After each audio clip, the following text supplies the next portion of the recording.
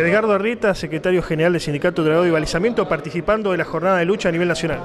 Bueno, eh, acompañando el pedido de la CGT de llevar adelante este paro nacional, que en esta ciudad ha sido totalmente contundente, y eso acá estamos en la UON justamente reflejando cada sector cómo, cómo ha estado, eh, eh, cómo se ha llevado adelante, bueno, y cada compañero que se arrima dice de que realmente tenemos un 100% de, de paralización en cada sector. Hoy aquí, si no ha habido movilización en la ciudad de Rosario a nivel general, sí algunos gremios movilizaron, como por ejemplo empleados de comercio. Eh, ¿qué, ¿Por qué sucedió esto? ¿Hay diferencias entre diferentes sindicatos? No, empleado de comercio me parece que tiene una razón, ¿no? Porque eh, tenemos eh, Carrefour, tenemos Coto, eh, tenemos algunos que, realmente no son nacionales y que llevan adelante un apriete hacia los trabajadores. Después, las otras movidas que hay en Rosario, eh, no obedeciendo lo que pide la CGT, creemos de que los compañeros tienen su derecho de manifestarse, pero hay más eh, una política partidaria que gremial.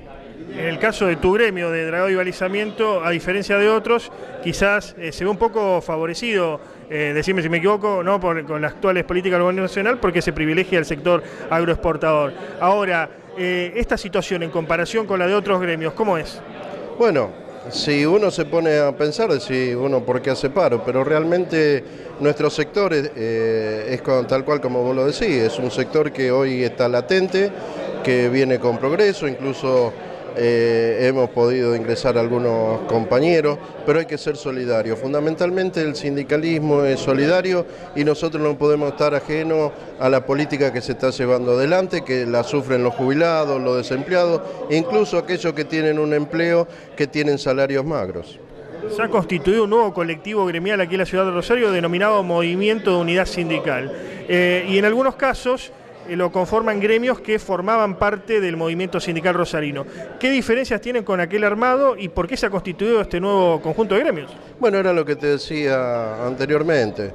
Este conjunto de, de armado que se llaman justamente por la unidad del, movimiento rosarino, que es para terminar en, en, en, conformar lo que es la CGT de Rosario, la regional, creo que es la segunda en importancia después de la y bueno, hemos confluido muchos sectores con distintos matices, pero creemos de que la solución está en la unidad. Y como te decía, algunos compañeros interpretan de que haciendo política partidaria es la mejor forma y nosotros creemos, lo que estamos por lo menos en este sector, que hoy es día de llevar adelante políticas gremiales.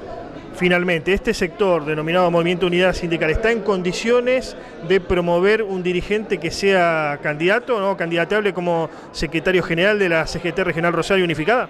Mira, nosotros intentamos en su momento que haya un triunvirato, no fue posible, tratando de que todos estemos ahí tal cual haciendo un espejo de lo que fue Buenos Aires. Y este sector hoy sí tenemos la posibilidad de tener un compañero que esté al frente, ¿no? que realmente contenga, nos contenga a todos, los industriales, a, lo del Estado. Y creemos de que vamos a salir adelante. El otro día estuvo Juan Carlos Smith y quedamos con seguir hablando para llegar a la normalización de esta regional. Edgardo Arrieta, muchas gracias. No, por favor, gracias a vos.